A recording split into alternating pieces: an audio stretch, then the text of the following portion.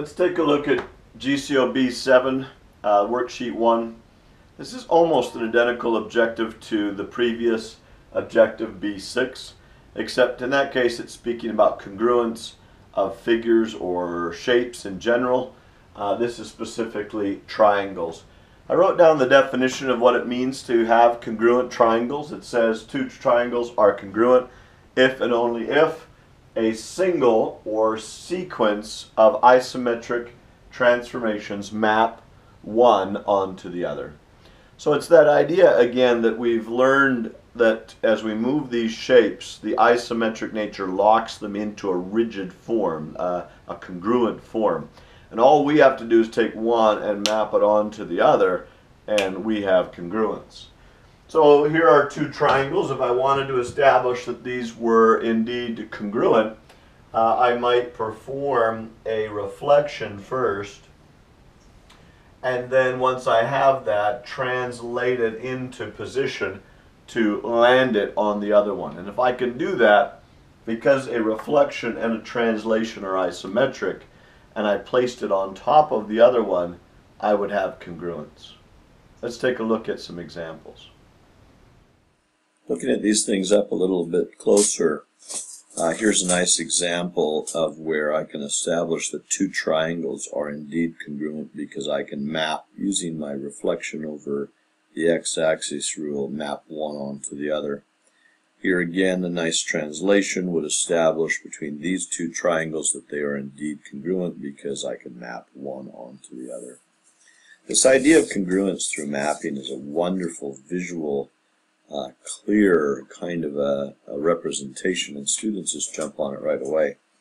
Um, this says name the transformation or sequence of transformations that map one figure onto the other, then complete the congruence statement.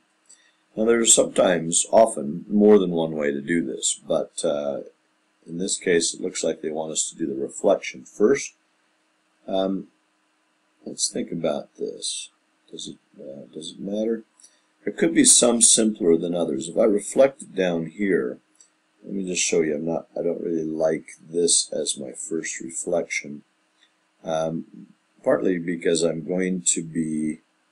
Looks like I'm. I would have to rotate it onto that spot. So I'm actually not going to reflect here. I'm going to reflect over the y-axis because I think you'll see that I the uh, positioning is is much nicer.